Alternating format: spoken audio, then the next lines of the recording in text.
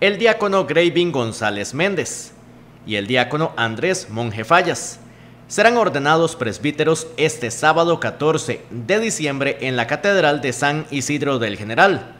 Ellos fueron ordenados como diáconos durante este año y ahora les corresponde asumir este nuevo reto. Muy contentos, por cierto, muy agradecidos con Dios por este regalo.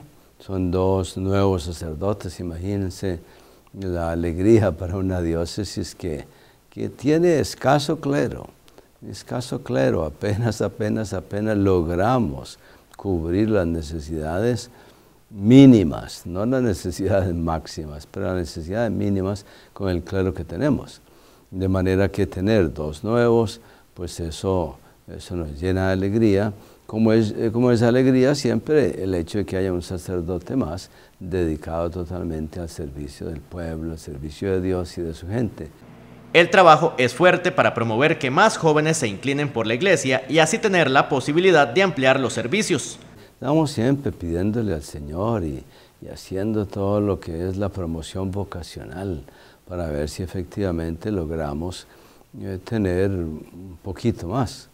No, no aspiramos a grandes números, no. Los grandes números son a veces más bien peligrosos engañosos.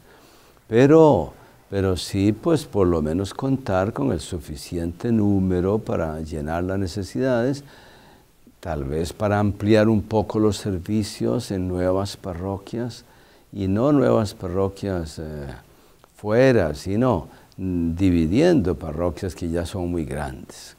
Hay parroquias que ya necesitan quizá una división. Son demasiado grandes para atender un sacerdote o dos. Una diócesis como la de San Isidro del General necesita más sacerdotes. Así de claro fue Monseñor Gabriel Enrique Montero.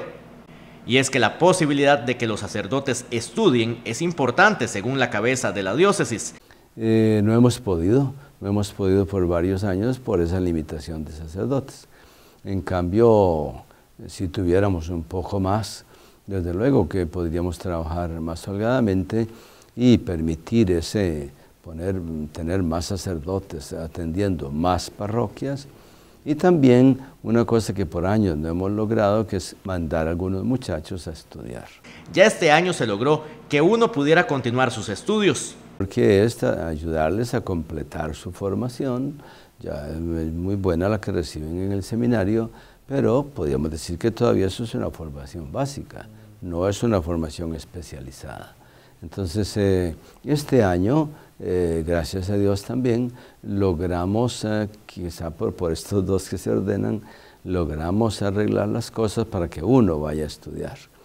Esta ordenación presbiteral está programada para este sábado, desde las 10 de la mañana, en San Isidro del General.